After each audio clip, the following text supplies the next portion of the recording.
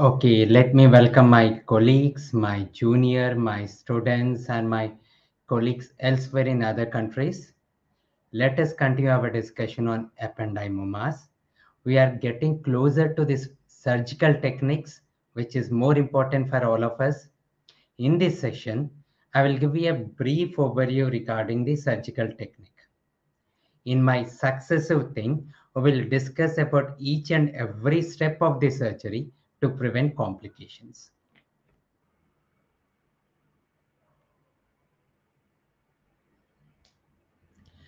Coming to the surgical technique for ependymoma of the spine. There are many surgical approaches. We will be discussing the most important and the most common approach, which is the posterior approach. That is the approach from behind.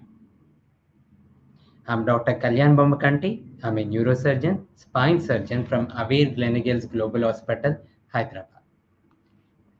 So, uh, for all those who have attended my previous sessions, you know that magnet MRI, plain and contrast images, are the most important methods for diagnosis of the ependymoma preoperatively. Okay. Uh, in our next sessions, once we complete the techniques in detail, we'll discuss how will you go for other approaches. In general, the evaluation includes assessing the general health, neurological status, and other factors that may impact the surgical approach. So how do you do the preoperative planning? Most important is review of the imaging studies, that is the MRI spend sufficient time on reading the MRI, both the plain images and the contrast images. Determine the exact location, the size and extent of the tumor. Also look for other characteristics like is there a plane? Is the tumor well defined or not? Look for the plane on T2 weighted images. Look for other features like presence of calcification, presence of cyst, presence of you know, tumor edema and all things. Optimal, optimal surgical approach is planned based on the tumor characters which you have studied, studied on the MRI imaging and also on the patient characters and the patient factors and the surgeon's expertise. Anesthesia. We always give a general anesthesia. Spinal anesthesia is rarely used except for few patients in few specific conditions. Patient, because it's a posterior approach, that is you are approaching the patient from behind, the patient is placed prone on the operation table. Ensure that all the pressure points are properly padded. You can see the knee, you can see the heel. We have padded all the pressure points. The abdomen is well supported. The abdomen is free because of the frame. Ensure that the neck is properly positioned above the heart level and there should be no compression on the neck. Skin incision which you typically use is a midline incision made in the back over the affected spinal segment. This one. This patient has a cervical neck tumor in the spinal cord. So it is in the midline over the neck on the back aspect. Then the muscles are dissected. The vertebral lamina, you can see these are the intact lamina. In this segment, we have remo removed the bone and the lamina. So the spinal cord with the tumor comes into picture the tumor resection. We open the dura mater. You can see the du dural flaps which have been, which are, you can see the dural flaps which have been cut and and pulled apart. And pulled apart. So this is spinal cord tumor. You can see the tumor bulge. So in this picture, we have made a small myelotomy we have made a small opening on the spinal cord. Once you made a, a, small opening, the tumor comes into picture. You can see this grayish red color tumor. You can also notice we have preserved the vein, the central vein, which is a major vein near the tumor, but the smaller tributaries you can coagulate. The tumor, which is well exposed by various microsurgical techniques, you develop the cleavage plane from the surrounding you develop the cleavage plane from the surrounding spinal cord and remove it in total.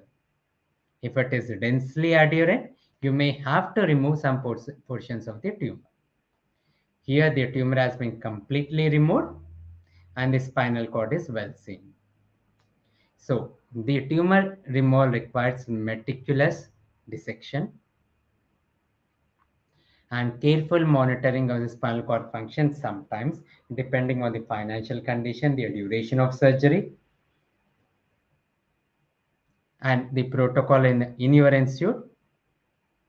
This meticulous dissection minimizes the risk of damage to the spinal cord. Controlling bleeding is very important. You, you ensure perfect hemostasis.